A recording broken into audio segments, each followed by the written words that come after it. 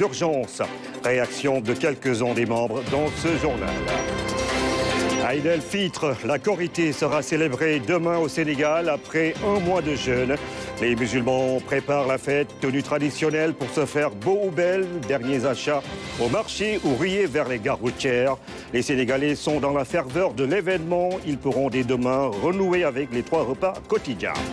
Le bateau Aline Sitoé Yata reprend ses rotations. Premier voyage ce mardi à destination de Ziguinchor.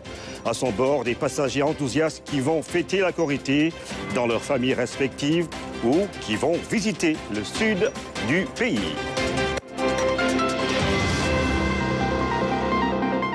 Bienvenue à tous. Nous ouvrons ce journal avec la lecture du communiqué du Conseil des ministres avec Ibrahim Abouk. Bonsoir. Bonsoir Ibrahim Djedjou. Bonsoir à tous. Le Conseil des ministres s'est tenu ce mercredi 9 avril 2024 au Palais de la République sous la présidence du chef de l'État, son Excellence M. Bassirou Diomaye Djahar Faye. À l'entame de sa communication, le président de la République a saisi l'occasion de ce premier Conseil des ministres après sa prestation de serment le 2 avril 2024 pour exprimer encore une fois sa reconnaissance infinie et sa profonde gratitude au peuple sénégalais qui lui a fait confiance avec son élection au premier tour avec 54,28% des suffrages exprimés ce qui dénote de l'espoir immense placé au projet collectif défendu pour un Sénégal uni, souverain, juste et prospère. Le chef de l'État a, à cet égard, salué la maturité du peuple sénégalais et sa volonté manifeste de soutenir une rupture en profondeur, d'accompagner une transformation du système à tous les niveaux de la vie économique et sociale du pays. Le président de la République a remercié et félicité tous ses compagnons et soutiens pour l'engagement historique exceptionnel, la résilience et le courage qui ont permis cette alternance inédite acquise de haute lutte avec tant de sacrifices. Le chef de l'État a ainsi félicité M. Ousmane Sonko, nommé Premier ministre de la République du Sénégal. Il a magnifié sa posture de patriote et son travail au quotidien pour la préservation des idéaux partagés afin de consolider la souveraineté et le rayonnement du Sénégal. Le président de la République a en outre félicité les 25 ministres et les 5 secrétaires d'État membre du gouvernement de résultats nommé le 5 avril 2024. Le chef de l'État a demandé au gouvernement d'accélérer la réalisation intensive et cohérente du projet en travaillant avec précision, diligence, méthode et efficacité à la satisfaction des populations et au mieux des intérêts du Sénégal. Le président de la République a insisté sur le rôle, l'action et la responsabilité du gouvernement institution qui doit toujours s'arrimer au respect de l'état de droit et aux valeurs panafricaines historiques qui entretiennent notre vie en société au regard de la montée en puissance des impatiences et des exigences des populations. Le chef de l'État a notamment rappelé la nécessité de définir et de mettre en œuvre une politique inspirée par le projet de transformation systémique du Sénégal décliné en cinq orientations majeures. Ces dernières doivent s'ériger en axe prioritaire de l'action gouvernementale. Il s'agit de la jeunesse, l'éducation, la formation, l'entrepreneuriat et l'emploi des jeunes et des femmes. La lutte contre la cherté du coût de la vie et l'augmentation du pouvoir d'achat des ménages. La modernisation de la justice, la protection des droits humains, la bonne gouvernance, la transparence, la reddition des comptes et l'amélioration de notre système démocratique et électoral la souveraineté économique et la prospérité du Sénégal, l'exploitation optimale des ressources naturelles et le développement endogène durable des territoires, la consolidation de l'unité nationale et des solidarités dans un renforcement de la sécurité, de la paix et de la stabilité du pays.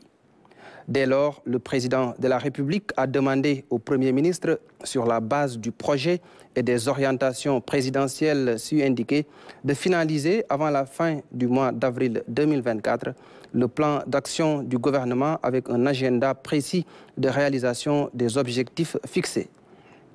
Dans cette perspective, le chef de l'État a demandé au Premier ministre de veiller à la mise en place effective et rapide des cabinets ministériels et de proposer pour chaque ministère une nouvelle organisation rationalisée et des nominations qui sont conformes aux réformes et des objectifs sectoriels validés.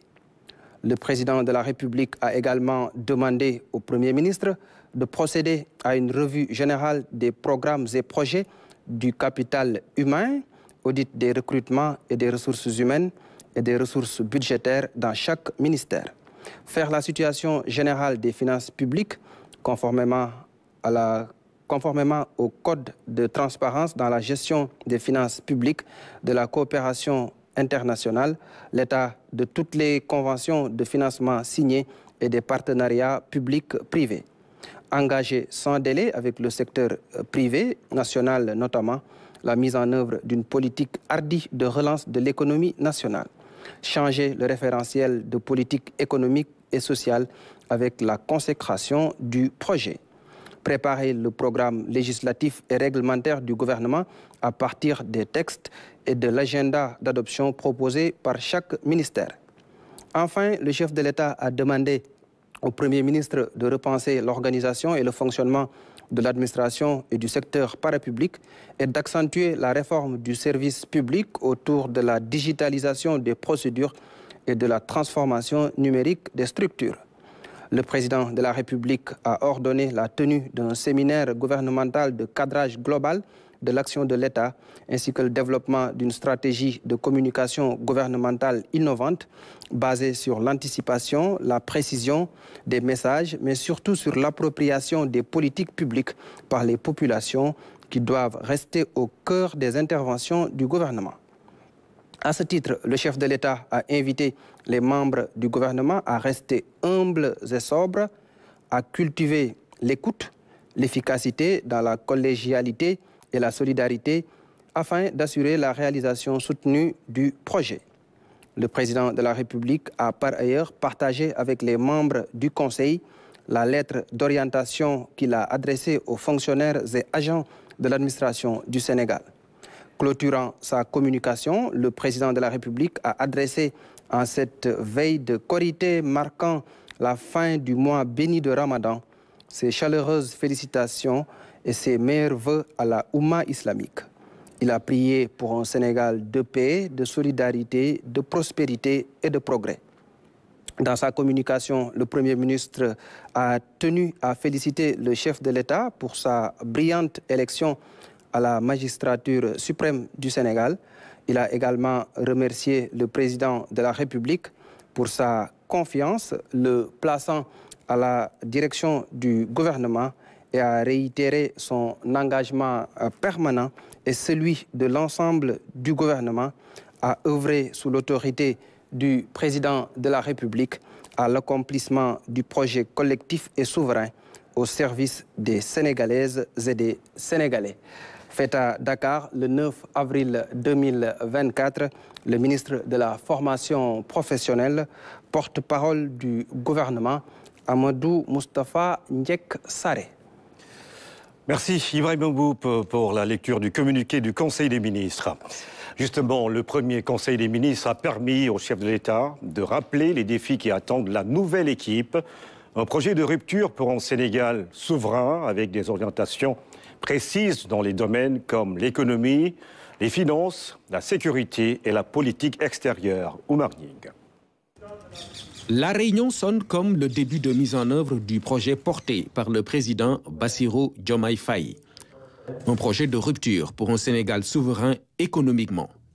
Pour ce faire, il va nous falloir avoir un secteur privé euh, fort. Et un secteur privé fort, euh, ce sera un secteur privé accompagné par l'État. Et accompagné par un État également fort.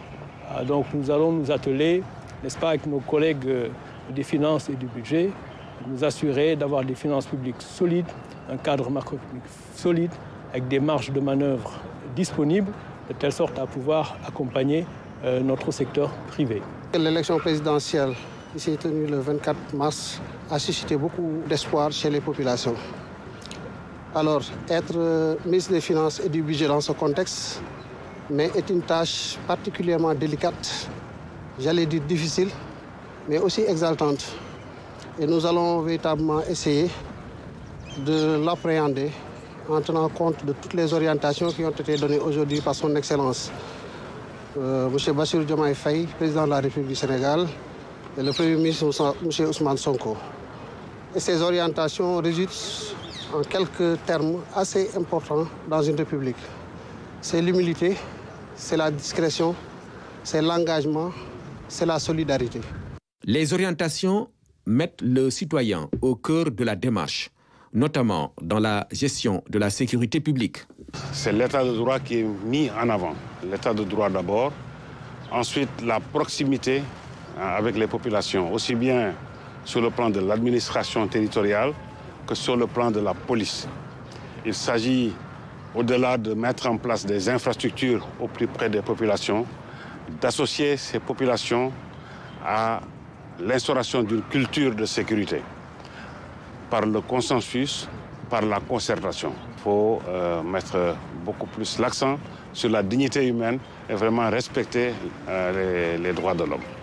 La politique extérieure prend également une place importante, avec une articulation qui met en avant le panafricanisme.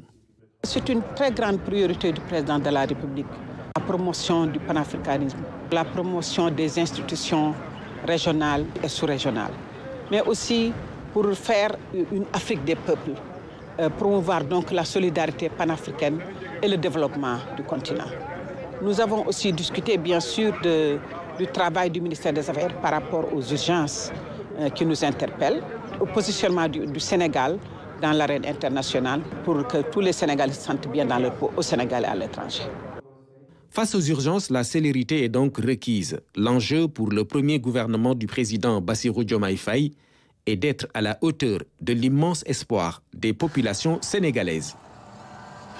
Le premier conseil des ministres sous l'ère Bassirou Diomaye Faye s'est donc tenu ce mardi. Les défis sont nombreux dans les secteurs stratégiques de l'énergie, des infrastructures et des transports, mais également de la formation professionnelle, la jeunesse, les sports.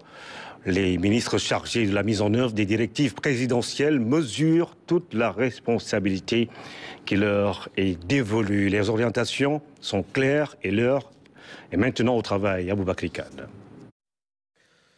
Pour ce premier Conseil des ministres, le président de la République et le Premier ministre ont surtout rappelé aux uns et aux autres la nécessité de travailler dans la collégialité pour répondre aux attentes légitimes des populations. Il a surtout été question de définir les axes stratégiques et de dégager les orientations majeures. Nous devions être des serviteurs simples de la nation parce que le peuple nous a mandatés. Il est très exigeant parce qu'il attend beaucoup de choses de nous et nous devions rapidement nous mettre à hauteur et euh, euh, pour apporter les réponses qui étaient attendues. Monsieur le Président de la République, Son Excellence, M. Diomaye Faye et le Premier ministre ont rappelé au gouvernement, à l'ensemble des ministres, ce qui devait être leur mandat, leur comportement, leur attitude en termes de loyauté, de diligence, d'ouverture d'esprit, d'écoute de la, population et du peuple, mais surtout, euh, on travaille avec responsabilité, reddition de comptes, pour, à l'heure du bilan, pouvoir donner aux Sénégalais ce qu'ils attendent de nous-mêmes. Une approche de rupture systémique qui invite les différents ministres à rester sur les principes républicains.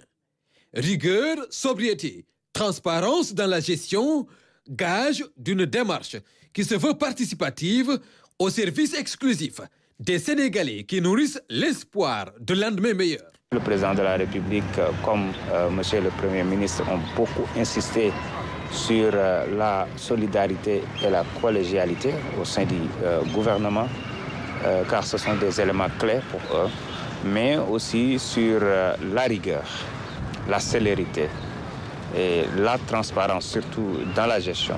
Les orientations ont été très simples. Il s'agit notamment d'appeler les ministres que nous sommes au travail et au service exclusif des populations sénégalaises. Il nous a également, Monsieur le Président de la République, demandé de travailler dans la sobriété et euh, dans la discrétion la plus totale. Nous avons énormément de défis puisque les populations sénégalaises euh, nous attendent justement pour régler euh, l'essentiel des problèmes auxquels elles sont confrontées. Et le président de la République nous a appelés au travail, à la discrétion et surtout à la probité également. Au nom de la solidarité gouvernementale, les orientations du président de la République vont dans le sens d'une action globale pour apporter des réponses concrètes aux urgences et relever les défis du développement à la base. Globalement, nous allons euh, travailler surtout dans la modernisation du secteur, dans la modernisation et des infrastructures et du transport, routier, ferroviaire comme aérien. Aérien parce que tout simplement pour nous, il faut que ça réponde plus aux normes internationales, mais aussi il faut travailler de manière beaucoup plus efficiente. Nous allons être euh, très euh, ouverts et surtout à l'écoute de tous les acteurs de ce secteur-là pour transformer qualitativement euh, la vie des Sénégalais parce que c'est une demande forte, la mobilité au niveau de ce pays, en tout cas, interpelle tout un chacun. Ce secteur-là est un secteur fort pour pouvoir euh, permettre euh, au président de la République de décliner et de réaliser surtout sa politique euh, économique et le modèle de développement que nous sommes en train de proposer aux Sénégalais. Nous avons l'habitude d'entendre les entreprises nous poser le problème de l'employabilité.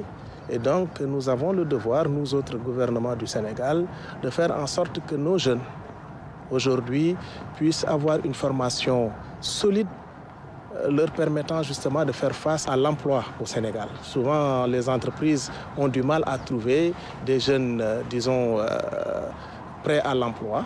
Et donc, nous avons l'obligation de leur octroyer un cadre nécessaire pour se former et se former solidement. La jeunesse, le sport et la culture, trois secteurs importants confiés à Khadija Gaï, un défi de taille certes, mais à la portée de l'inspectrice de la jeunesse et des sports, bien connue dans ce domaine. C'est un agréable devoir de servir mon pays. La tâche est immense et nous mesurons pleinement l'ampleur des défis que nous attendent. Des défis majeurs parce que s'agissant des questions de la jeunesse, des questions de la culture et des questions du sport, nous nous engageons à travailler avec dévouement, détermination pour réaliser les missions assignées à mon département aux côtés de l'ensemble des acteurs, aux côtés des plus hautes autorités de ce pays. La feuille de route ainsi déclinée, il reste maintenant au ministre à se mettre au travail pour mériter la confiance du président Bassirou Diomaye. Plébiscité par le peuple, le chef de l'État entend rapidement mettre en œuvre le projet d'un Sénégal juste souverain et prospère dans une Afrique en progrès. À l'occasion de la fête de l'indépendance, son Excellence, le président de la République, a reçu les messages de félicitations des hauts dirigeants et autres personnalités suivantes. Le serviteur des deux saintes mosquées, Sa Majesté Salman Ben Abdelaziz Al Saoud, roi d'Arabie Saoudite, Sa Majesté Mohamed VI, roi du Maroc, sa Majesté Haïtam bin Tariq, sultan d'Oman, Son Altesse Cher Meshal Al-Ahmad Al-Jaber Al-Sabah, émir de l'État du Koweït, Son Excellence Monsieur Faure Ezo Zimna Nyasimbe, président de la République togolaise, Son Excellence la très honorable Madame Marie May Simon, gouverneur général du Canada, son Excellence Monsieur Voti An président euh, intérimaire de la République socialiste du Vietnam, son Excellence Monsieur euh, Korel Sourk Urna, président de la Mongolie, Monsieur Abdoulaye Diop, président de la Commission de l'Union économique et monétaire ouest africaine, UEMOA, et son Excellence Madame Louise Mouchi Kiwabo, secrétaire générale de la francophonie préserver euh, les océans et les ressources halieutiques. Après la COP28, le Sénégal fait le point sur les plans d'action et les recommandations de la conférence des États partis sur le climat. Universitaires, acteurs du secteur et l'État veulent donner à l'économie bleue toute sa place dans les politiques publiques. C'est Dina.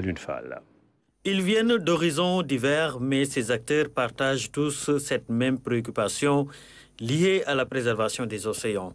C'est ce qui a motivé la tenue de cette rencontre de restitution des résultats de la participation du Sénégal à la COP28. Les présentations ont fait ressortir des éléments de réponse sur la problématique de la prise en charge de la préservation des océans et de leurs ressources. Nous savons maintenant que euh, la lutte contre les changements climatiques est le nerf de la guerre pour vraiment booster l'économie bleue. Quand on parle d'économie bleue, c'est tout ce qui est l'économie maritime en lien avec le climat, à savoir la pêche, l'aquaculture, euh, le transport maritime, euh, les ports, le tourisme, entre autres, et même l'exploitation du pétrole, oil et gaz.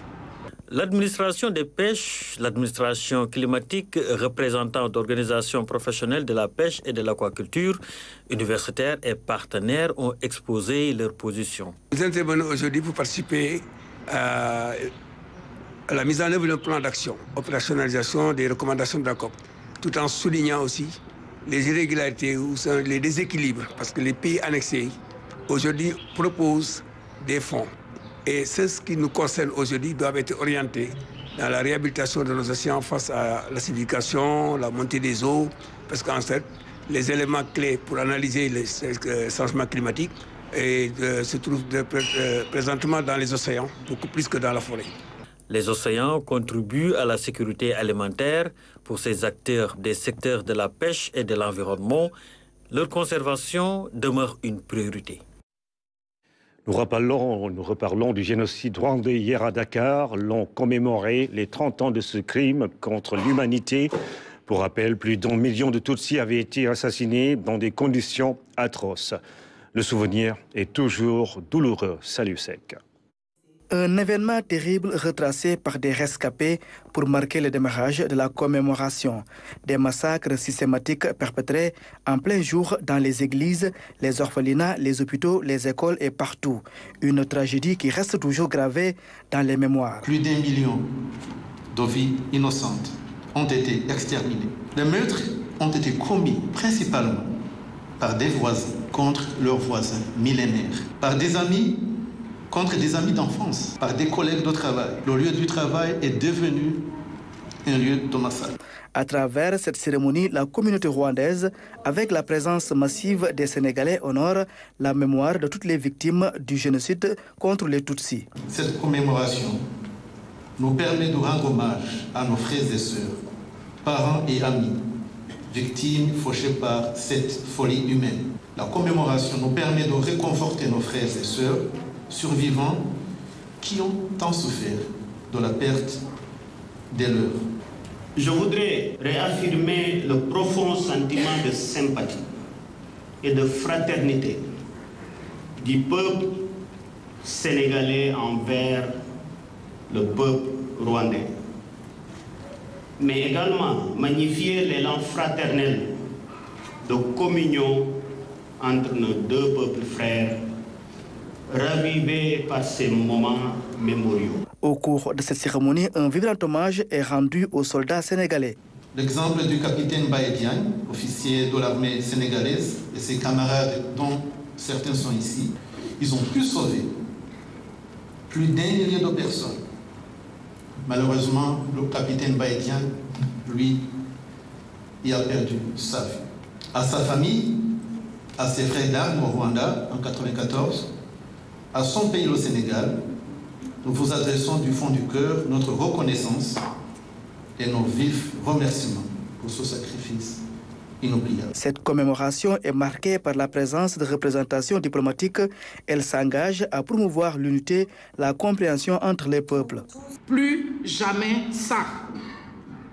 En tant que membre de la communauté internationale, nous avons la responsabilité collective de veiller à ce que de telles atrocités ne se reproduisent jamais.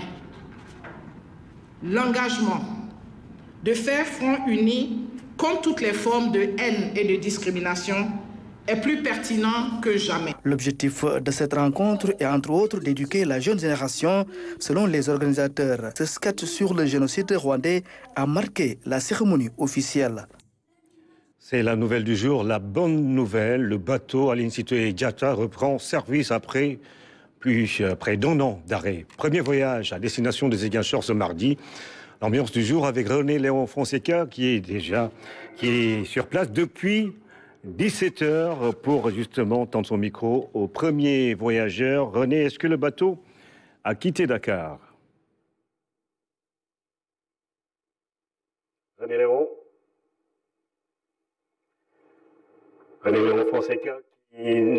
Encore en ligne. Nous allons essayer de le retrouver dans un court instant pour nous parler de la reprise des rotations du bateau Aline Sitoé Yata. Allons découvrir à présent l'ambiance dans les marchés en cette veille de corité. C'est le grand rush chez les vendeurs de tissus cette année. Le brocart et le tissu perlé sont les plus prisés par les dames. Les hommes ont opté pour les costumes africains les tailleurs sont débordés mais entendent satisfaire les clients au marché HLM et à la Médina. Le reportage de Ney Koumadjaï. Le marché est animé en cette veille de fête. Les marchandages vont bon train. Les vendeurs de tissus redoublent d'ardeur pour attirer la clientèle. Dans les boutiques, une panoplie de tissus. Toutefois, certains sortent du lot. Les pirkhas, les lafaya et les brodés anglais sont très prisés en ce moment. De plus, les prix sont accessibles. Nous vendons les lafaya à 10 000 ou 12 000, les pirkhas à 18 000 ou 20 000. Mais malgré cela, les clients ne se bousculent pas dans la boutique.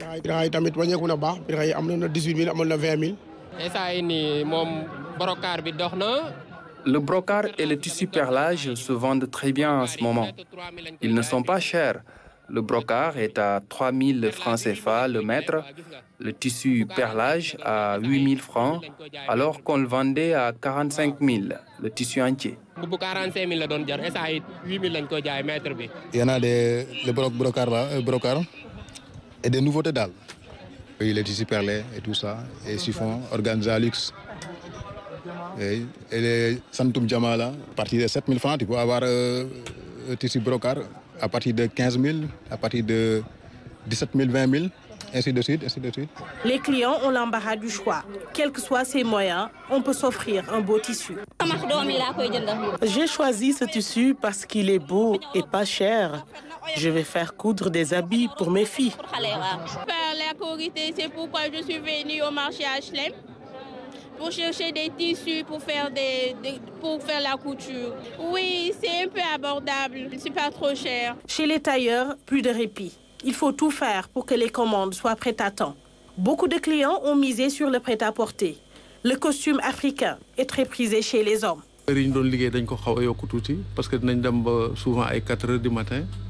Nous avons prolongé nos heures de travail.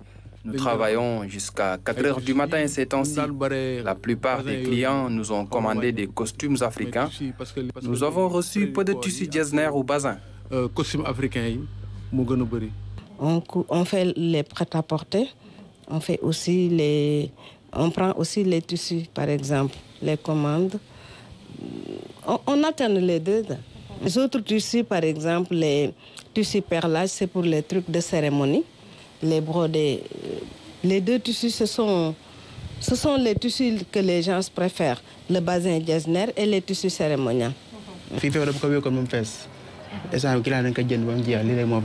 J'ai reçu beaucoup de commandes, surtout les costumes africains. Je fais du prêt-à-porter pour les hommes, j'ai presque tout vendu. Les prix des tenues varient entre 40, 60 et 70 000. Si c'est un fidèle client, je lui vends à partir de 30 000. À quelques jours de la fête de Korité, vendeurs de tissus et tailleurs sont très sollicités. Si la plupart des Sénégalais ont déjà fait leurs achats, d'autres continuent à se rendre dans les marchés pour faire leur choix. À Kaolack, le marché est bien approvisionné en fruits et légumes. Le prix du kilogramme de pommes de terre et de l'oignon varie entre 400 et 500 francs. Une bonne nouvelle pour les consommateurs. Claire Diop. L'approvisionnement correct du marché en condiments essentiels, un aspect déterminant pour passer une bonne fête de Corité. Un tour au marché central de Kaolack a permis de constater la disponibilité et en quantité suffisante de l'oignon, de la pomme de terre, des légumes et autres ingrédients. Une situation bien différente de celle connue l'année dernière à la même époque. Par rapport à l'année passée, on a une grande quantité d'oignons, de pommes de terre et d'ail par rapport à l'année passée. Les produits sont exposés au marché à des prix accessibles. Une baisse est même notée sur certaines denrées. Non, les prix cette année ont baissé par rapport à l'année dernière. Le kilo de pommes de terre, actuellement, ça coûte 500, l'oignon 400 francs. Et l'ail, ça coûte 1500, 1600, ça dépend de la clientèle. Sur les étalages, les clients sont au rendez-vous, notamment le matin. Les gens ont commencé à venir, mais le matin, parce qu'après-midi, il fait excessivement chaud. Mais les gens les gens viennent s'approvisionner le matin. Avant midi, presque tous les clients repartent à cause de la canicule, de la forte chaleur.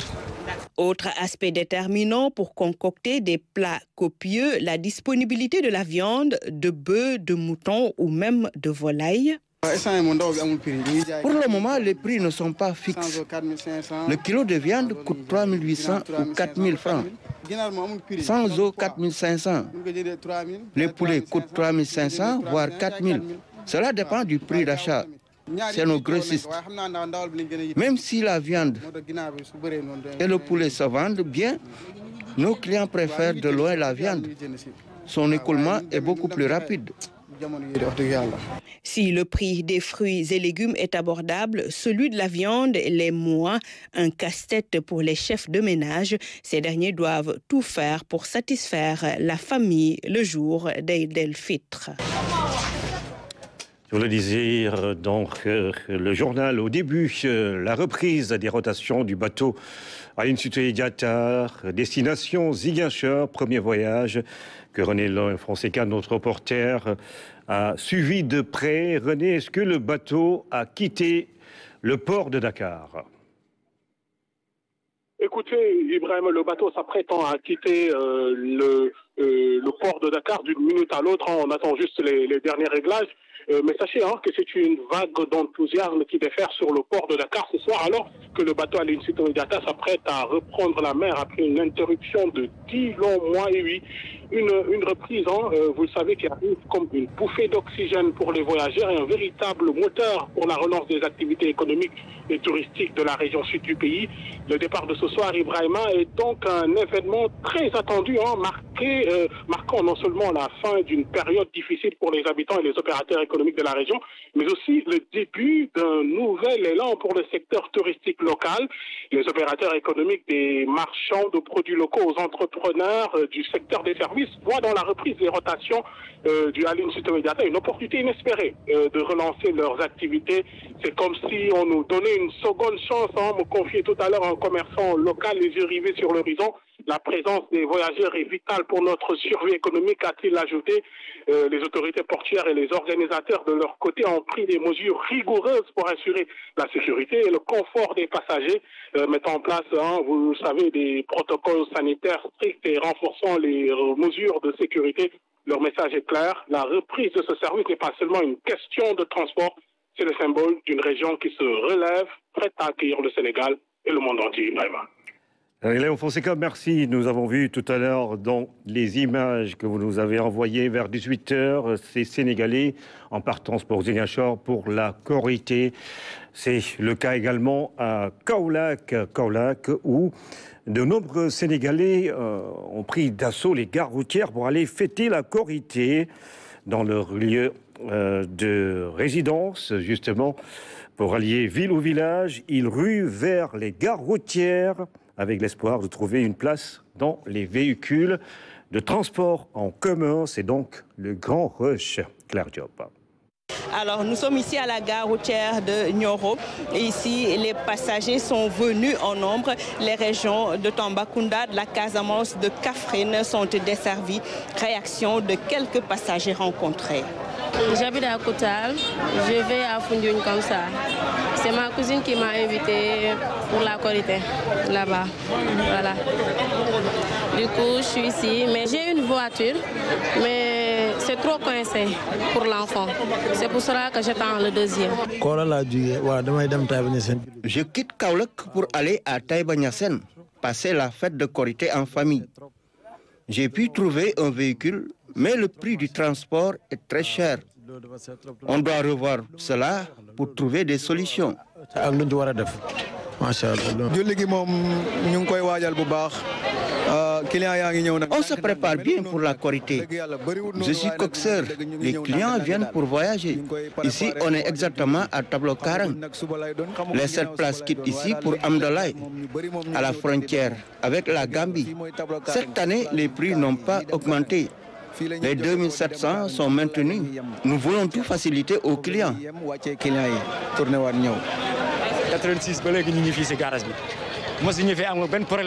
Depuis 1986 jusqu'à aujourd'hui, nous n'avons pas de difficultés majeures avec les clients. On les reçoit, on les oriente, on les accompagne. Vous avez vu, cet après-midi, ils sont venus massivement. Alhamdulillah, tout se passe bien. waaw ñi ñu ñëw nag par ndànk-ndànk parce que tey deux heures bi client yi commencé engagé du dugg si garage fees dal garage bi jaxasoo waaye démb amu koon tey daal la ko commencé daal. Direction Matam, le marché de la ville Carrefour Wurosogi est bien approvisionné en produits locaux, de l'oignon à la pomme de terre, tout en passant par le poulet, euh, tout y est, mais à des prix différents. Corité rime avec habillement. Les tailleurs sont à pied d'œuvre pour livrer les habits dans l'ambiance des préparatifs de la Corité. C'est un reportage signé Ibrahima Pabi Djetou. Au marché de Urosogi, les différents produits ornent le décor. L'endroit est bien approvisionné en légumes au grand bonheur des clients. Bien sûr, il y a des des, il y a beaucoup, beaucoup, beaucoup. Pour pommes de terre, c'est beaucoup. Parce que c'est notre pomme de terre. C'est le pomme de terre du pays. Il y en a. L'oignon, encore, le sac, il y a 9 000, 25 kilos. Il y a 7 500. Il y a aussi le grand sac de 40 et quelques kilos. Euh, 11 000, 10 500, 10 000. Pour cette année, je ne crois pas qu'il y aura un manque de produits. Ce que je vois ici me rassure. Pour autant, en cette période de forte canicule, les vendeurs sont confrontés à un problème de stockage et de conservation. Par rapport aux difficultés, c'est juste qu'on n'a pas de magasin de stockage. Avec cette chaleur, j'ai bien peur de perdre mes produits. Ces commerçants restent malgré tout optimistes. Ils espèrent écouler tout leur stock. Pour ce qui est des poulets, pas de souci également à se faire. Au marché de Urosogi, de Matam, tout comme dans les autres concessions, il y en a pour toutes les bourses. À la Corité, les gens préfèrent le poulet de chair. Les prix varient entre 3500 et 4000 francs. Ça dépendra du poids. Les poulets sont plus faciles à cuisiner et ils sont également bénéfiques. Mais la viande est trop chère parce que la vache coûte cher. Mais chacun a également son choix. Moi, je choisis la viande rouge parce que c'est une habitude de l'acheter chaque corité. Mais les prix sont vraiment chers. La corité, c'est aussi l'habillement. Les tailleurs n'ont pas de répit. Objectif, livrer toutes les commandes avant le jour J. On se lève très tôt chaque jour pour commencer le travail. Vers 14h30 ou 15h, on observe une pause avant de reprendre vers 17h. Parce que nous sommes obligés d'honorer nos engagements envers les clients. En ce qui me concerne, je suis obligé de travailler la nuit. Je suis là jusqu'à 3h du matin, voire 4h ou même 5h. Événement oblige. Au Fouta, après un ramadan caniculaire, les fidèles préparent avec joie la fête de Korité. Pour la circonstance, c'est la ville carrefour de Urosogi qui est le point de convergence de la plupart des populations qui viennent des différentes localités. Avant de vous quitter, je vous rappelle l'information du jour. Le premier conseil des ministres sur l'ère Bassirou Djamaï Diakhar Faye. C'était donc ce mardi 9 avril 2024 au Palais de la République. Et puis l'autre information, vous l'avez sans doute suivi en direct avec René Léon Fonseca, c'est la reprise de la rotation du bateau Aline Sitoé Diatta, destination Ziguinchor, après près d'un an euh, d'arrêt de cette liaison maritime qui relie euh, Dakar au sud du Sénégal. Nous y reviendrons beaucoup plus amplement avec nos reporters euh, qui sont dans le bateau Aline Sitoé Diatta. Mesdames et messieurs, merci de nous avoir suivis. Très bonne fin de soirée à tous et très bonne fête de.